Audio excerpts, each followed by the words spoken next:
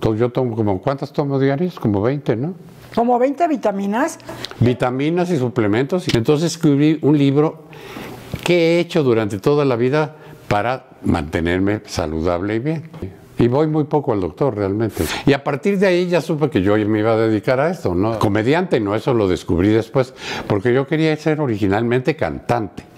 Lo que pasa es que cada vez que cantaba yo se reía la gente. ¿Cómo?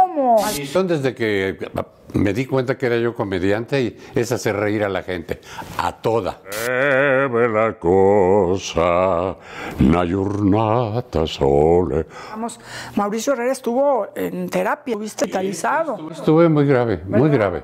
Sí, todo eso. Y las enfermeras, como les hacía yo chistes, en lugar de dos tenía yo seis. Hacías chistes, chistes. Y hoy, ¿quién va a bañarlo ahora? Que tú te ibas a casar con Julisa. Sí. ¿Y qué pasó, Mauricio?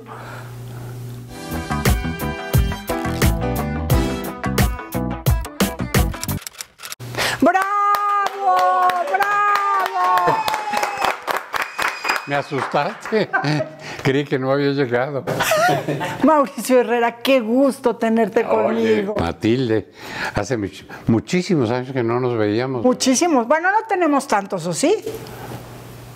Pues yo hace muchos años. Bueno, pues la pandemia ya son tres. Bueno, tienes razón, sí es cierto. Son muchos años. Pero qué gusto me da verte. Igualmente. Qué bien te veo, qué contento. O sea, el No ha Mauricio, pasado el tiempo conmigo. no. Se me queda todo. el Mauricio Herrera que todos conocemos. Sí. ¿Verdad que sí? Sí, sí. Yo sigo igual. Me- No.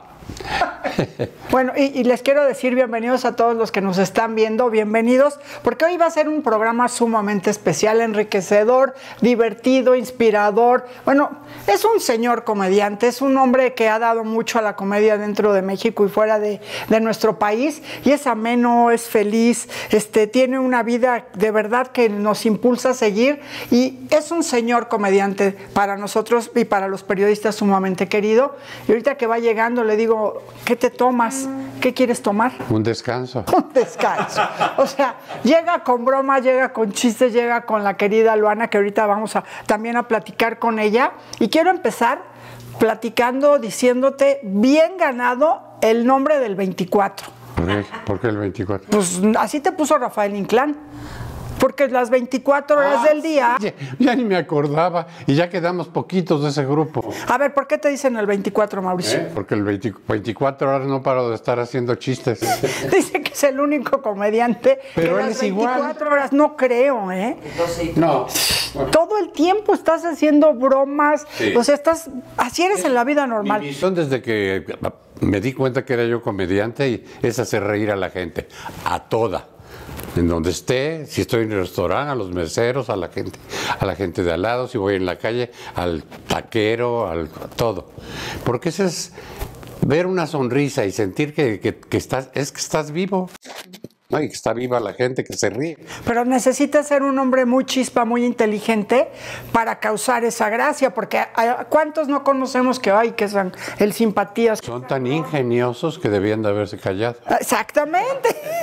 Y contigo no, siempre nos sacas una sonrisa. Eres un hombre muy inteligente, Mauricio. Sí, estudié mucho tiempo eso. Tú estudiaste arquitectura. Sí, sí, sí, claro.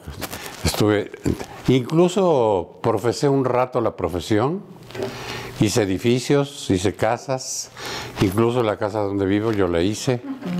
Tuviste tu despacho. Tuve mi despacho de arquitectos un tiempo. Es que, fíjate que cuando estaba yo en arquitectura empecé mi carrera de actor.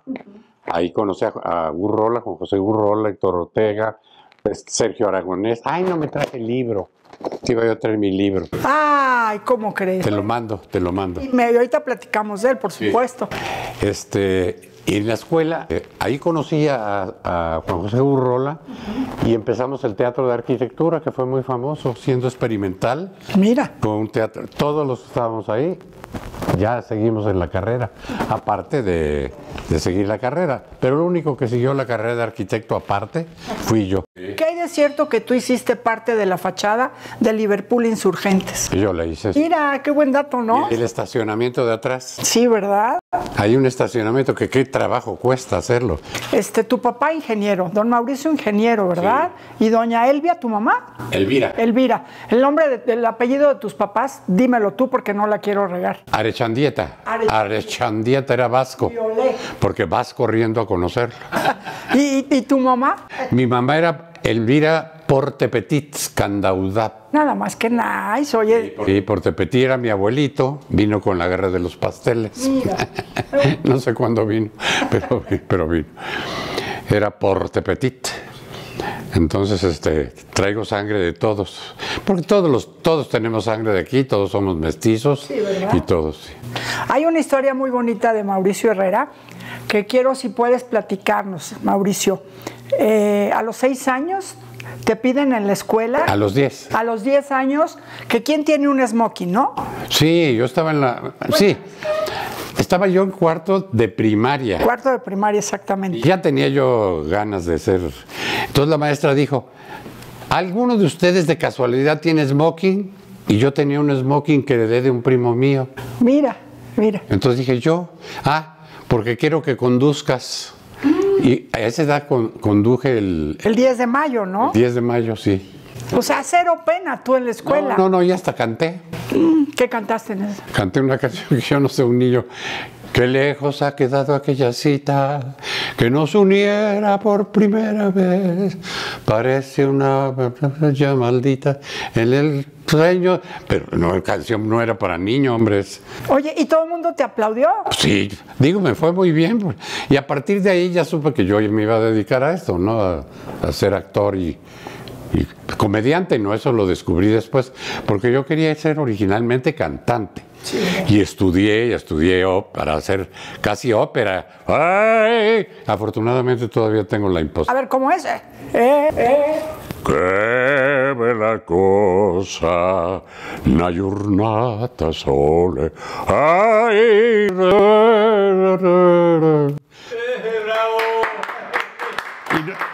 no, solté toda la voz, no la solté, se me cayó.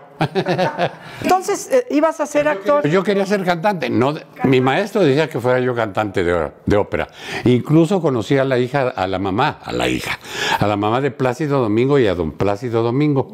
En la escuela que yo estaba con Víctor, Víctor Manuel Ortigosa, que me, que me daba clase de canto, era amigo de los, este, de- del papá de Plácido Domingo. O sea, ven a más que nivel. Sí. ¿Y qué pasó en, es- en el camino? Lo que pasa es que cada vez que cantaba yo se reía la gente. ¿Cómo? Sí, empezaba yo a cantar muy seriamente, pero no sé, algo me pasaba que no podía yo cantar serio porque yo era un cantante romántico. Yo quería decir, cierra la puerta, ¿cómo va a cerrar? La puerta se cerró detrás de ti. Yo quería cantar puras canciones románticas, pero no era yo eso. No te lo creían. No me lo creían, se reían y entonces dije yo, "Pues yo creo que yo estoy equivocado, ¿no? Entonces empecé por el lado de la comedia. Entonces me empecé a, a dedicar ya a la... Bueno, primero fui actor, de, con Juan José Gorrola hicimos ese... No sueños de autor, ¿cómo se llamaba? ¿Eh? La hermosa. La hermosa gente de William Sar- Saroyan. Ajá. Con esa nos fue muy bien. Los, decía, eh, aprendan profesionales, nos pusieron los críticos. Y todos éramos jóvenes de, de 19, ve- de 20 años, 21 años, eh, muy chicos. ¿Puedo saber tu edad? Voy a cumplir 89 el mes entrante. En marzo, ¿no es? Sí, marzo, ¿Qué día de marzo? 28. Ay, mira. Fíjate, y me siento muy bien. No, digo. Estoy muy bien, fíjate. No, te veo muy bien. Muy bien, Hubo, afortunadamente. hubo, hubo un eventito ahí medio difícil, ¿no? Te dio COVID. Ah, sí, me dio COVID y estuve al, al borde de la quiebra. Realmente estuve mi pobre Lu. Ella, a ella le dio COVID, pero más ligerito. Pero pues, ya ves que el COVID no se podía visitar a nadie, entonces estaba yo encerrado ahí en una... Es que fuiste de los primeros. Fui de los cuando se murió Oscar Chávez y ¿quién otro? Joshua. Josh, yo. Sí, sí, después Gualberto Castro. Se vino una cascada espantosa. Y exactamente en esa época yo tuve el COVID, entonces estuve muy grave realmente. Y salí adelante, pero sí me. Sí, en esa época yo no sabía que me iba a dar cosas colaterales y sí me, sí me ha dado, me bajó la visión, la audición, perdí mucha musculatura porque bajé como 15 kilos, ¿no? Entonces ya tenía yo la cadera mal, también ya me operé el año pasado, me operé la cadera, me pusieron una prótesis, ya estaba yo caminando bien y entonces me empezó este pie a fallar, que también me imagino que es producto del COVID, de la columna vertebral, no sé qué. Entonces, el, el, mes entrante tengo cita en el IMR, el Instituto Mexicano de Rehabilitación, pues me van a sacar radiografías y a lo mejor o me tienen que operar o tengo una, una no sé qué tengo, pero no puedo caminar. Por eso hasta traigo bastón porque se me clava este pie y tiendo a caerme. No, no, cuidado. Porque eh, cuando, cuando este tema del COVID que estuvo tan fuerte y nos enteramos, Mauricio Herrera estuvo en terapia, estuviste hospitalizado. estuve muy grave, muy grave. Sí. El único que no sabía que estaba muy grave era yo. Porque no traté de enterarme de cómo estaba. Le preguntaba yo a Lu por teléfono, porque nos dieron el chance de tener teléfono, y te hablaba, ¿verdad? Y me decía, pues dicen los doctores que ahí vas, que ya vas muy bien, y todo eso. Y las enfermeras, como les hacía yo chistes, en lugar de dos tenía yo seis. Hacías chistes. Y hoy, ¿quién va a bañarlo ahora? Y tenía yo, pues la que quiera, porque me bañaba un diario. Pues era un baño diario ahí en el, en el hospital. hacías chistes en terapia. Mauricio. Sí, sí, sí. ¿El ánimo? Por eso yo, y fíjate, todos los días a las 3 me despertaban, que casi no me dormía, para sacarme sangre. A las 7 me sacaban radiografías, a las 9 me llevaban a tomografía. Todos los días estaba yo, no entubado, pero sí estaba yo lleno de cables y de mil cosas. Agujas, sueros, me imagino. Sí, sí, estuve bien delicado, creo. Y afortunadamente hoy lo podemos platicar. Lo podemos platicar. Sí, ¿verdad? Pues fui de los pocos que se salvaron de COVID realmente. Bueno, yo tengo las cuatro vacunas. La de la poliomielitis, viruela, sarampión. Podemos hablar de sueños de un seductor. Es que ver a Mauricio Herrera ah, es sueños de un seductor fue. verte ahí. Sueños de un seductor fue verdaderamente el parteaguas para que la gente me conociera como actor ya y, fuera a verme. Realmente fue, fue una sorpresa para mí. Además fue una obra que yo adapté, dirigí, produje y actué. ¿Y qué más me faltó? Y cobró también, ¿no? Sí, me fue bien, me fue bien. 1500 representaciones, ¿no? 1500, 1500 representaciones tuve de, de Sueños de un Seductor. Empecé en el Teatro Shola y luego entré, este, me habló el señor Azcárraga y entré a hacer Mundo Latino, que el señor Azcárraga, yo ni lo conocía. Entonces entré y me senté ahí en la... ¿Tú has ido a la sala de espera? Me senté ahí, estaba Lourdes, Lourdes este, Guerrero. Entonces estaba yo sentadito ahí, salió el señor Azcárraga y muy serio y me dijo, Mauricio, pásale. Uy. Dije, ah, pasé, pasé, me, me senté. Me dijo, siéntate, Mauricio. Sí, señor Azcarra. Háblame de tú. Ah, le digo, siéntate, Emilio. y hicimos muy buena mancuerna desde ahí, ¿eh? Realmente me llevé muy bien con él, fue muy gentil. Lo único que no le pedí, que tenían todos, era de carro, casa, dinero y todo. Yo trabajé, pero trabajé por el sueldo. Hasta ahí. Yo, nunca le pedí, ¿por qué no le pides un Todos tienen coche. Y sí es cierto, ¿eh? Todos traían coche, último modelo. Se hablaba de casas, ¿no? De unas, unas exclusividades gigantescas. Es un, me en la familia, pues qué menso eres, ¿por qué no lo dices? Pues porque es mi amigo, yo cómo le voy a estar pidiendo cosas, ¿no?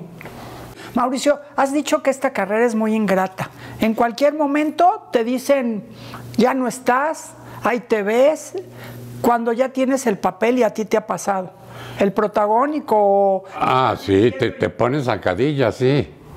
Sí, no voy a decir quién me puso zancadillas porque no quiero hablar mal y ya, ya no están aquí en este mundo. Pero yo tenía una obra, ya la iba yo a hacer, que era La pareja dispareja. Me hablaron, yo estaba en Estados Unidos, me hablaron los Fábregas y de pronto la persona que entró a trabajar y y Manolo Chico, de pronto ya no tenía yo la dirección. Y de pronto tampoco estaba yo ya como actor. que yo tenía mucha ilusión de hacer. Pero gracias a eso hice sueños de un seductor. Y dijiste, voy a ser mi propio patrón y ahí nadie me va a mandar por las cocas. Pues yo no necesito hacer, no tenía yo dinero, pero conseguí socio, ¿no? Que fue Marcial Dávila, entró de socio conmigo, porque yo en el fondo dije, esta obra después la puedo poner en el Insurgentes. Entonces primero lo estrené en el Shola, luego hice un año Mundo Latino con, Televisa y después ya me fui al Insurgentes y estuve otro, otro buen año ahí, que fue del... Fíjate que yo tuve la suerte, yo no sé, a mí algo me pasó maravilloso. Yo agoté el Teatro Insurgentes, batí los récords del Teatro Insurgentes en el momento que estuve. Sueños de un seductor fue maravilloso. Por supuesto. Y además no llevaba yo, porque fue muy chistoso. Cuando yo traté de conseguir quién hiciera la pareja mía, había muchísimas actrices jóvenes amigas, pero nadie se quiso arriesgar conmigo. ¿Y entonces? Pues lo que pasa es que conseguí pura, puras actrices que no tenían mucho nombre, pero que, pues, que yo sabía que eran buenas. Llené todo, y como yo la adapté, puse seis muchachas muy lindas. Y a cada que le di un papel, hice como una comedia musical. Sueños de Doctor fue como una comedia musical. Empezaba con una canción de de Chorus Line, me la robé.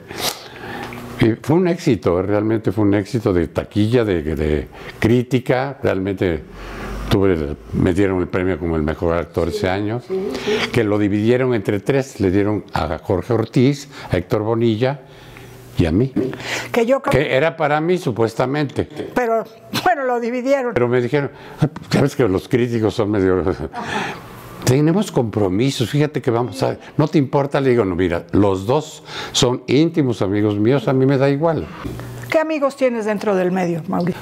Bueno, ya se fue Héctor Ortega, también que era muy amigo mío desde, pues empezamos juntos en, La Hermosa Gente, y luego fue un gran actor, Héctor, muy, este, un gran actor de teatro, y luego se desarrolló mucho en la televisión, pero desgraciadamente, a pesar de ser conocido, no era muy conocido. Porque hizo muchísimas cosas importantísimas. Este, Héctor Bonilla, este, pues no crees que tengo tantos, ya pues ya me queda Julio Alemán, que ya no está. Mira, se me han ido muchísima gente. Sí, ¿verdad? del grupo de, donde iba yo a comer, de allá de Coatzacoalcos, los veracruzanos, ya no queda nadie. Nada más que yo. Ley de vida. De los actores, creo que nada más quedo yo del grupo de donde íbamos siempre a desayunar. Y del grupo social con el que me reunía, tampoco queda. Porque ya a los 88 años, casi 89, has visto que ha partido toda la gente que estaba a tu alrededor. Sí, sí, sí. o sea, los de 70 ya has visto que partieron mucha gente. Entonces yo, imagínate. Entonces me, me queda realmente muy poca gente ya de, del medio artístico. Por eso hay que cuidarnos. Sergio Aragonés, que es un gran caricaturista, me imagino que sabes de él, es uno de los principales moneros del mundo. Él me hizo del libro, me hizo las ilustraciones. Cuéntame de tu libro, a ver. Mira, a mí siempre me preguntaban, y me siguen preguntando, oye, como tú ahorita me dices, oye, pues estás muy bien, ¿qué haces? Me preguntan. ¿Qué hago? Entonces yo tenía que explicarle, bueno, pues desde los 40 años me di cuenta que las hormonas iban desapareciendo, entonces empecé a, suplirlas con, suplementos y cierto tipo de vitaminas faltaban. Entonces hice todo, ¿no? Todo para... Lo tomo. Yo tomo como, ¿cuántas tomo diarias? Como 20, ¿no? ¿Como 20 vitaminas? Vitaminas y suplementos y todo. Aparte, tú eres de los que te vas al doctor, investigas lo que te mande el doctor. Exactamente, sí. Y voy muy poco al doctor realmente. ¿Qué vitaminas tomas para qué? A ver, cuéntame. Bueno, tomo el complejo B, que es el único que me faltaba de los complejos, porque tengo todos los complejos. no, ya en serio, ¿cómo te vitaminas? Bueno, bueno, pues tomo el DEA, esa es la hormona, tomo hormona, la hormona de crecimiento dejé de tomarla porque es carísima creo que eran 5 mil pesos cada 20 días, entonces dije, no, pues mejor sigo creciendo sin la hormona. Pero tomo muchísimos suplementos. Vitamina C, que la vitamina C es el antioxidante más importante que hay. Esa hay que tomarla, se tomo dos gramos diario, uno en la mañana y uno en la noche. Y también se los doy a Lu. Sí, ¿verdad? Lu está muy bien vitaminada. Este tomo, ¿qué más tomo Lu? Vitamina D, que era- ahora la recetaban mucho para, para el COVID. Sí, ¿verdad? La vitamina D ahora dicen que ya de por vida uno la... El Q10, que es un este, aminoácido importantísimo. Para el corazón, ¿no? La Q10. No, to- Tomo todo lo que te puedas imaginar. Desde hace muchos años, Mauricio. Sí, muchos años. ¿El ajo, cómo tomas el ajo? En cápsula. Con vida. Obviamente esto bajo prescripción médica no podemos asegurar cada, per- cada- Yo no estoy recetando a nadie. Bueno, el libro que de- hice, que estábamos hablando del libro, como me preguntaban todo, dije, pues, ¿por qué no escribo un libro? Entonces escribí un libro que he hecho durante toda la vida para mantenerme saludable y bien. Entonces el libro empieza, pues, lo primero que hay que tener es este, una actitud. La actitud que tiene uno en la vida ante todo es lo importante. Es cierto. Y luego ya hay que hacer ejercicio, el desarrollo humano, prepararse, saber que nunca, la vida no termina cronológicamente. Por ejemplo, los viejos, eso de decirle viejo a la gente grande es un error. Y los primeros que te hacen sentir viejo son los que están a tu alrededor. No, tú ya estás. A los papás le dices, ya tú, mira, ya, ya. Eh, Ahorita es la tecnología, papá, ya sabemos. Tú ve tu tele. Sí. Y entonces a, a la gente grande, en lugar de estimularla y de darle leitmotiv para que siga viviendo, le van quitando lo poco que tiene. Entonces yo les recomiendo a la gente que siempre ha de haber algo que quisieron hacer. Porque lo más importante en la vida es hacer en la- lo, lo que te gusta. Y entonces te desarrollas con lo que te gusta. Porque la mayoría de la gente, si tú vas a, la cosa, los burócratas y mucha gente, a veces están en lugares que no, que ni les gusta estar y tienen que estar para vivir. Y haciendo lo mismo. Por eso a veces te tratan hasta medio raro porque no son felices. Y un punto de la felicidad es hacer precisamente en la vida lo que quieres hacer. Y entonces hacer algo que siempre quisiste hacer. Exactamente, entonces eso es lo importante que les recomiendo yo y aparte muchas otras cosas, ¿no? Ejercicio, todos los, viene todo el tipo de ejercicios que puedes hacer en tu casa. ¿Cómo se llama el libro?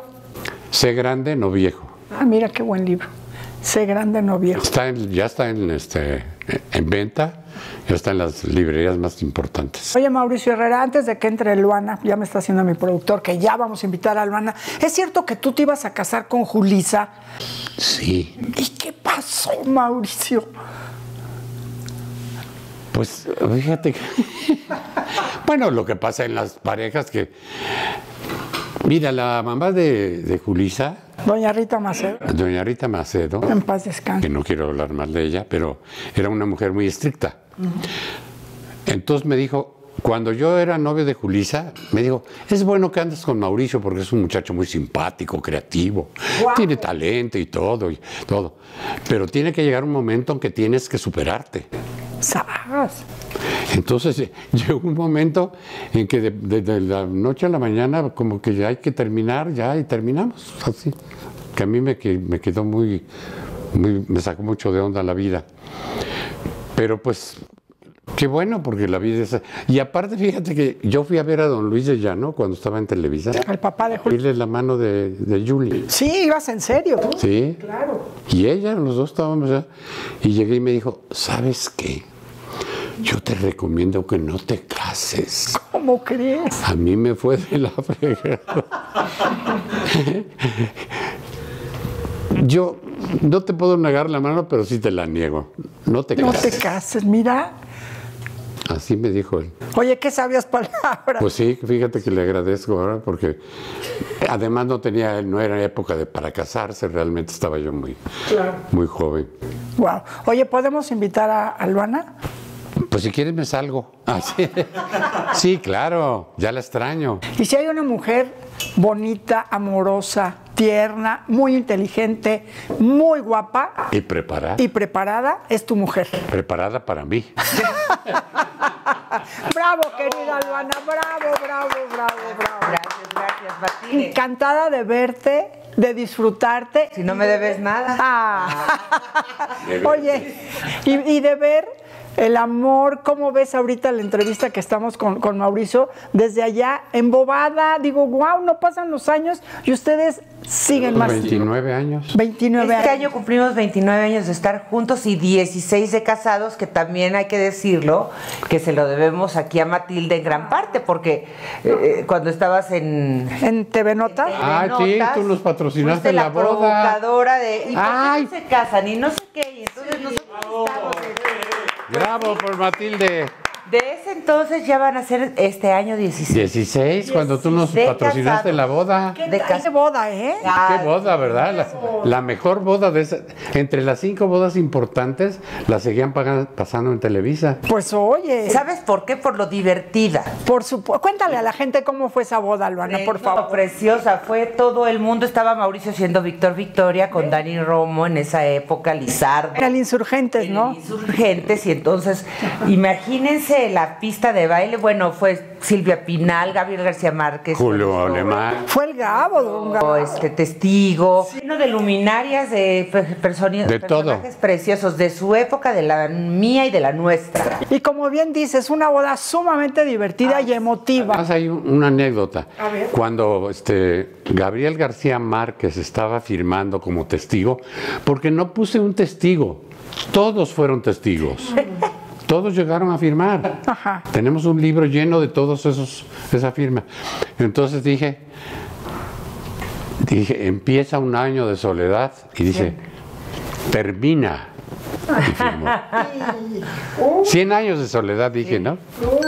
Mira nada más, qué, qué, Preciosa, una boda preciosa en la cual tú fuiste copartícipe, provocadora, este... Y no me equivoqué, muchachos, porque ustedes siguen juntos. ¿Qué tal, Mauricio? Sí, Bueno, Y, enamorados y contentos y Sí. felices. Y enamorados. A pesar de todo lo que nos ha pasado. ¿Cuál será la fórmula, Luana, para seguir enamorada, motivada, que te diviertes, que te encanta? O sea, ¿cuál será la fórmula que tienen ustedes? Pues yo creo que nosotros dos. la fórmula, la inteligencia de ambas partes. Y la ¿no? comprensión. Inteligencia, La comprensión. que la inteligencia aplica en, en la comprensión, en el acompañarnos, Sí. en todo, en lo bueno, en La lo plática malo, en que podemos tener, lo, lo que hacemos juntos. Bueno, ¿qué les cuento? Oye, Luana, es que te lleva 40 años. 38, sí. Ah, ah, bueno. Estoy a punto Oye, de dejárselos porque ya me cante de estárselos llevando. O sea, 38 años. te- 38 años y no se ve. No, no, no, no se ve, Mauricio, no, para nada. 39. 39. No, no, 38, ya le sumaste. 38 y una... Ah, ya le sumaste. No, no, 39. no, no. Borra eso. Ahorita 39. Porque yo cumplo años ahorita. Ah, pero un ratito. días, Ay. Y él cumple después en, otro- en un mes. Ahorita 39 y en un mes 38. Exacto. Exacto. Las mujeres siempre nos vamos a acordar. 38 años, 9 meses. 38. Y, y bueno, cuando ustedes se casaron, decían, qué bárbaro, podría ser tu papá. Mi abuelo. Y, y Tu abuelo. diciendo, Podría ser su abuelo. Sí. Y todavía cuando algunas pa- partes vamos, su hijita qué mona es, ¿verdad? Le digo, sí, muy mona. Es que luego yo le digo, papi. Ay, no me... Vamos caminando, le digo, ándale papi, vamos por acá, o no sé qué, o papi, yo te, te muevo la silla. Ay, su papi, qué Yo me adorable. las moví y me Qué caigo. adorable su papi, lo amamos. Ay, muchísimas. Ya aclarar es, este, Oye, queda por demás. por- porque hay muchas cosas interesantes que platicar con ustedes. Voy a cortar esta parte y si estoy mal, corríjanme, porque creo que se me sé algo, algo de su historia. La conoces a los nueve años, 14. ca- 14 años, Porque ahí me asustaste, dije. y después la vuelves a ver La conocí a los 14 en clase de canto. en clase de canto y ahí Luana dijo algo. Ah, sí, me dijo, a mí me encanta, tú di lo que Bueno, dijiste. él dice, a mí me encantan los hombres mayores y yo le dije, un día me voy a casar con usted. A los 14 A años. los 14 Sí, años. me encantan los hombres mayores y le dije, no, yo tengo dos hijos de tu edad y te los voy a presentar. Y yo dije, no, no, no, no, no, a mí No, me gustan los yo algún día me voy a casar con usted. Y- y- Contigo, y me dijiste. Quintero dijo, niña, niña, me regresó, niña. Y entonces Luana, Fíjate, no sé, este, es que aparte era encantador, ¿cómo es ahora? Sí, sí, Encantador, bailarín, dicharachero, me hacía reír todo el tiempo, cantaba lindo. Yo lo conocí a los 14 años porque yo estaba en un grupo en esa época y después coincidió que fuimos, este, el grupo Click, a su programa de Mundo Latino. Porque tú cantabas en el En el grupo. Sí. La de Duri, Diri, Duri, diri. Bam, Bam, la original. ¿Cómo, cómo va? La Duri, Duri, Bam, Bam, Dum, Dum. Ahora la grabó Ahora ya la este sacaron en- José, ¿no? ¿Cómo se llama esta niña? Eh, María José, María José. preciosa. Sí, sí, sí. Sí, pero este, ahí lo, lo volví a ver y luego nos dejamos de ver un rato y a los 19 años me lo vuelvo a encontrar. Y entonces. Y este, pues eh, eh, pues, salíamos como cuates y a tomar el cafecito. Tú ya tenías una hija. No, todavía no, Ah. todavía no. En- es que Mauricio se fue de viaje, yo me di cuenta que no iba por ahí todavía, entonces este se fue de viaje a Europa, ¿verdad? Y este y en ese inter yo conocí al papá de mi hija. Duramos muy poquitito, muy poquitito, me casé a los 19. Nada más del tiempo a de los lo de su 19 hija. años. A los 19 me casé, a los 20 me embaracé, a los 21 nació mi hija, tiene 29, así que sacan sus, hagan sus cuentas. Eres una bebé. Pero muy contenta, me volví a encontrar a Mauricio ya después, yo ya este, Ya casada, gordita, he hecho un- una gorda, pero una gordota, ¿eh? Sí, gorda, sí, sí. gorda, gorda, porque me dio eclampsia cuando me embaracé y casi me muero. Entonces me vuelvo a encontrar a Mauricio en, una, en un casting para el Fantasma de la Ópera, ahí nos volvimos a reencontrar, estaba yo gordita, gordita, y le habló a una amiga y dice, dame el teléfono de Luana. Eso. Entonces, me- ahí nos volvimos a contactar. Yo ya estaba muy mal en mi matrimonio. Sí, la- Mauricio para- también ya estaba en. Yo franca no estaba mal. franca- Nunca estuve mal con la pero bracho, estabas en sino franca separación. Y este. Bueno, nunca estuviste mal de. Porque de llevarnos mal. Sí, pero ya, ya, ya no, De ya no. hablar mal de ella, vaya. No. Tú sí puedes la- hablar mal de No, yo no hablo mal de nadie.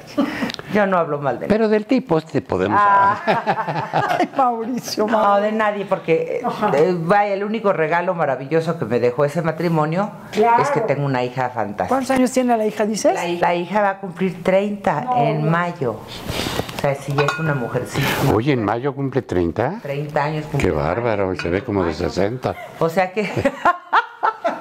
Bueno, y entonces se vuelven a ver, empiezan a salir. Empezamos a No, trabajar. la empecé, le dije, "Ti- Vente a estaba trabajar". medio decepcionada, ella tenía muchos problemas porque le había ido mal realmente. Se sentía mal porque estaba eh, obesa realmente. Y le dije, lo que tienes que hacer es adelgazar, canta, porque a mí lo que me impresionaba más de ella es que canta precioso. Aunque no lo sepa el mundo, lo sabe muy poca gente y grabó un disco precioso. Canta maravilloso, estremece a la gente que la oye cantar. Y a mí cuando la oí cantar, verdaderamente me dije, esta niña no se puede quedar así sin que la conozcan. Y traté de, de todas formas de que saliera adelante con el canto. Fue muy difícil. Cuesta mucho trabajo. Con mis hijos igual. ¿Y si- qué la oíste cantar? ¿Cuál? Como una ola. ¿Cómo va esa Mauricio? Pues que ella la cante. A ver, a ver, Luana. Como una ola, tu amor llegó a mi vida. Como una ola de fuego y de caricias, de espuma blanca, rumor de caracola. Como una ola. Hijo. No, bueno, mira, mira, mira, mira. No, no, no, no, no, no. Eso que sentiste tú ahorita y que sintieron, es yo ya, ¿no? Lo sentí yo y dije, qué barbaridad, es que yo muy pocas veces había oído una gente que al cantar, porque mucha gente canta, y eso, eso es lo que hace, Sí, canta, sí. pero ella interpreta. Cada, cada, cada cosa que dice le da la fuerza. Y tiene un vozarrón, ¿verdad? Aparte, guapísima. ¿Qué más querías? Uf, uf, sí. Muy bueno. La operé porque era muy fea. Eres su compañera, su amiga, su mujer, su todo. Soy, somos, somos el uno para el otro. Somos un Más bien el complemento. otro por el uno. Somos un complemento perfecto. Sí. Yo, yo no creo en eso de la media naranja. A ver. Yo creo que yo soy una naranja y encontré otra. Con un ser completo, eh, maravilloso, lleno de todas las cualidades que a mí me hacen crecer. Y yo creo que pasa lo mismo. Que a mí me hacen de crecer. pasa lo mismo. Están todo el día juntos. Todo el día. Todo el día. Todo el día. Y ahora, sí, yo ya estoy harto. Mauricio, o sea, tienes una mujer encantadora, que en las buenas y en las malas ahí está. Sí, no, es linda. Además, guisa precioso. Ah, caray. Es una mamá de Sí, me casa. arreglo mucho para cocinar. No, de veras, atentísima. En mis peores momentos me ha atendido, me ha cuidado realmente. Y él en los míos, obviamente, Sí, yo en los suyos. Sí, somos. Ayer hizo las cortinas de no sé qué para su cumpleaños, que, que va en la poner la familia. máquina. Entonces puso cortinas y todo. Sí. Ya terminó cansadísima, ya acabé. Entonces hace todo. Realmente es un, un, un don de Dios tenerla. Estuvo muy grave Mauricio Lana y ahí Estaba estaba. muy grave, creo que es de las, eh, creo que es de una de las veces que más miedo he sentido en mi vida. Un pánico espantoso. En el 2020 no había vacunas, no había nada, no se conocía mucho del COVID. Gracias al doctor Paco Moreno, este que le mando besos, bendiciones a él y a Bárbara Sumó. Y ahorita acaba de salvar a mi Y hermana acaba de salvar también a mi cuñada de 95 años, le dio COVID. de que no la entubaran. La intubó y todo. Ah, la intubó. Sí, la intubaron y todo, o sea, un drama, pero la salvó. Pero Mauricio, yo creo que esa, ese momento, esos 15 días que pasé yo encerrada en la recámara y él encerrado en terapia intensiva, en terapia... O sea, tú en tu casa y él en el hospital. Sí, pero pánico. Un miedo, de esos, de esos miedos que sientes aquí todo el tiempo, todo el tiempo vacío, que dices, Es porque estás esperando la noticia. cada vez que te hablan por teléfono no sabes si te van a dar una mala noticia. Y verdaderamente la sufrí, la padecí, de todos, obviamente con un susto espantoso. Ya después cuando regresó a casa y todo salió bien, afortunadamente, como que toda la familia, ¿verdad? Sí, todo el mundo respiró. dijimos, Mis eh, hijos estaban sentíamos que- apanicados Que, lo perdíamos, sentíamos que... Pero él es tan fuerte, tan sano, tan, tan echado para adelante, con muy buena actitud, que, que yo creo que Dios todavía no se lo Sí, lo que me. Le dije, le dije muchísimas gracias, cuando se le digo, gracias a ustedes, a, a él y al doctor Arturo Gómez, ¿no? Arturo Gómez, el... El neumólogo. Salí adelante Paco. y Paco dijo, pues fíjate que no. Tú saliste adelante por tu actitud. ¿De verdad? Tu actitud es la que te permite que estés aquí vivo. ¿Qué te dijo? Yo Eres hice un lo que... rey. Ah, sí. Te dijo, tú eres un Ah, rey. sí. Le digo, sí, ahora soy un rey sin corona, pero sin coronavirus, le dijo. Y luego me habló para decirme, oye, ¿puedo usar tu frase? Le digo, claro.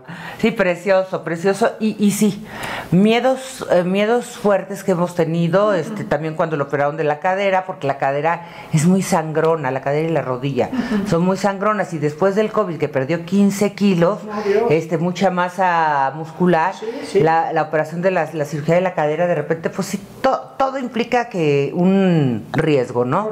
Pero el riesgo de perder un personaje y una, una- un ser humano como Mauricio, híjole, sí, yo creo que sí sería una gran pérdida, no nada más para mí, sino para, para México y el habla hispana, y para todo habla hispana. No, y cómo me hablaron, ¿no? ¿Cómo Oh, te hablaban diario, sí, todo el todas mundo? las cadenas de oración, que yo creo que todo eso sumó la buena vibra y la buena energía y el cariño que le tiene la gente. mis hijos dicen, nunca nos habían hablado tanto. Para preguntarle, ¿cómo sigue? Todos los medios de comunicación, que les agradezco mucho, estuvieron pendientes. Y bueno, de- dentro de estas secuelas, pues nada más quedó el bastón. El bastón y un poquito le bajó la visión, un poquito, ¿verdad? De Y el repente. la audición también Y un la poquito. audición también, pero vaya, nada, nada. Nada grave. Nada grave. Sí, pues la audición, pues, si sigo, pues me tendré que poner aparatitos.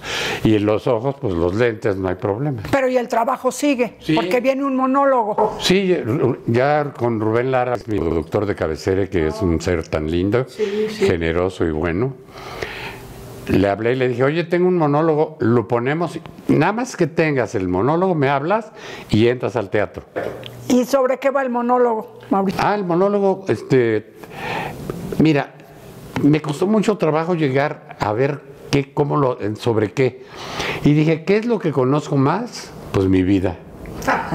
¿Qué tal mi vida? No. Hola, mi amor. Hola, mi amor. Entonces, lo que me puse, dije, ¿qué cosa puedo hacer? Pues desde que nací, que nací en el 34, ¿qué pasó en el 34? Bueno, pues estaba Lázaro Cárdenas, y, y así se sucede, no todos los años, sino cosas importantes que pasaron. En tal año pasó esto. Pues yo he vivido toda la transformación tecnológica. O sea, yo viví el radio yo estaba. Yo oí el radio, yo oí cuando Gales empató con México en 1948, algo así. Luego, todo lo que he vivido y todo lo que se ha inventado desde entonces, ahora ya la televisión, eh, el cine, el cine creo que ya existía, pero ahora como el cine como es, el- los discos. Y contado como a tu estilo y con tu picardía y tu humor, ya me imagino, ¿no? Fíjate cuánta historia, presidentes, Hechos, hechos, eh, hechos históricos que han sucedido a nivel A mí mundial. accidentes, he tenido la cuatro de la accidentes guerra- mortales. El inicio de la Primera Guerra Mundial y, y de la Segunda Guerra Mundial y el final, en la caída del Sí, yo vi cuando toda la, cuando salieron los periódicos decía, se acabó la guerra, se acabó la guerra. Ya, como, pues, en de 1945. De película, que salen los voceadores, ¿no? Con el periódico. Sí, sí, sí, fin sí, de la guerra, fin de la guerra. Pues, Sí, todo, eso, me pasó. He tenido tres accidentes casi mortales, no me morí de... ¿Qué han sido, Mauricio? Pues mira, uno iba yo hace muchos años con mi mejor amigo y mi hermano. De aquí de México vivíamos en Coatzacoalcos, íbamos a pasar la Navidad. Manejé yo de aquí, teníamos que dejar a otro amigo que llevamos a Córdoba. Entonces nos fuimos todavía por las cumbres de Aculcingo, que eran horribles antes. Yo manejé todo eso. Llegando a Córdoba, empezó a manejar mi amigo, que era el dueño del carro, por cierto. Yo me pasé atrás. Y entonces seguimos rumbo a Veracruz para irnos a Coatzacoalcos. Y como a los 30 kilómetros, yo estaba como dormitando un poco cuando oí, cuidado, era todavía medio de, la, de noche. Cuidado, es un, ¿qué es? es un animal, es un caballo, es quién sabe qué. Cuidado, una piedra. Chocamos contra una de las piedras que antes ponían, que se llamaban fantasmas. A ti ya no te han de haber tocado. Los ponían en las, cuando iba a haber curvas, las pintaban de blanco. Entonces chocó el carro con eso y salió despedido a 40 metros. ¿Cómo? y entonces, Mauricio. Pues llegamos 40 metros abajo, yo estaba atrás hecho, lo primero que se me ocurrió es decir, este, est- ¿están vivos? Mi hermano este, se abrió la puerta esta y no se mató porque iba agarrado del volante, porque se fue dando vueltas el carro, desde Ah, la- no, no. así horrible. Entonces subimos como pudimos, con lo, pues, la poca ropa que nos pudimos llevar. Tú te rompiste los dientes. No me rompí los dientes. Y llegamos y había, nos aplaudieron, había muchos campesinos y todo. y ahí estuvimos un rato y pasó un taxi. Y le dije, ¿nos pueden llevar a Córdoba? Claro. Nos volvimos a sentar igual. Mi herma, el chofer, mi hermano, mi amigo y yo atrás. Y era platicando el cuate, pues todos los accidentes pasan así, por, como la carretera de, de Córdoba.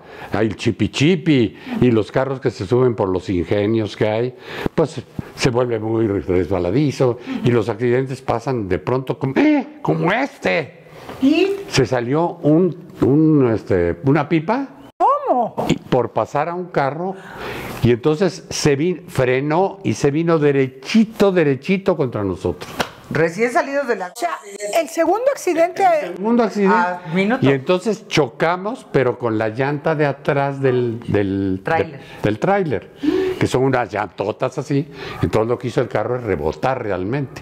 A- a- pa- a- amortiguó el golpe. No nos pasó nada. Se bajaron corriendo. Me acuerdo que, que Pepe Toño me decía, corra, que es gasolina. Y yo, sí, pero ¿para dónde? Y el chofer iba gritando entre, los, entre las cañaverales, salados, salados. Bueno, bueno. No, y ahí que nos quedamos los tres, mi, mi Pepe Toño traía un bolón aquí, mi amigo, Fernando traía sangre aquí, le dije, ¿qué traes? Se quitó, es que se rompió la mano con el parabrisas, traía un golpe. Y yo los dientes que me pegué durísimo contra el, contra el asiento. Oye, y ahí no se usaba el, el- el cinturón de seguridad. No, ¿verdad? Y ahí pasó un camión de carga y le dije, nos llevan a Córdoba y nos subimos hasta la parte de arriba donde iba con arena y, y ahí nos quedamos acostados hasta que llegamos a Córdoba. Y ahí ya no pasó nada. Ya no. Oye, pero qué horror, ¿no? Dos. Dos accidentes mortales en cinco, en 20 minutos. Don Mauricio Herrera, ¿cómo, quieren que, ¿cómo quieres que te recuerden? ¿Que me recuerden? Riéndose. Riéndose como ahora que desgraciadamente perdimos a Polo. Apolo. Eh, Rafael y Klein estábamos bromeando ahí en la caja con él y dijimos, dice Polo, pronto te alcanzaremos, le digo, serás tú. yo me espero. Por eso dice, pronto vamos a estar contigo, dice, primero él. sí, sí, yo, yo- sí, sí te vamos a alcanzar, pero yo me, me espero. Que no empujen, ¿verdad? Que no Eh, empuje. Que no empujen. Todos estamos formados, pero que no Pero que no empujen. Así es. Mauricio, tu mejor papel. Mi mejor papel, el papel de baño, que siempre es maravilloso. es maravilloso porque antes usaba periódico. Eres un encanto, eres un encanto. Mi mejor papel, bueno, he tenido miles de buenos papeles en la vida, ¿no? Eh, mi mejor papel es el que estoy jugando en la vida. Ese es el mejor papel. Y de teatro, Sueños de un seductor fue una obra realmente maravillosa para mí en ese momento. Pero después han seguido otras Con que han sido miedo. buenas.